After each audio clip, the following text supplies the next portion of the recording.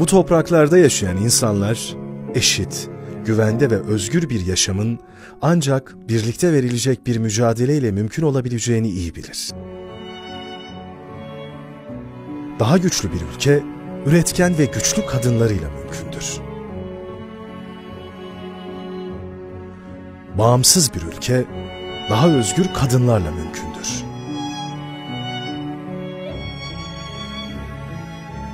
Ve kendi ayakları üzerinde duran bir devlet, kendi ayakları üzerinde duran kadınlarla mümkündür.